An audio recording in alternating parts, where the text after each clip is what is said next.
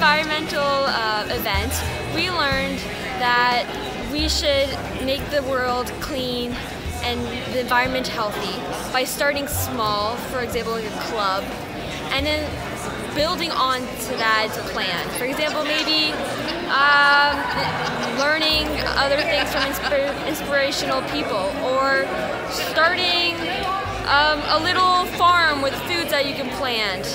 Um, but the most important thing that we learned today is it's never too late to start.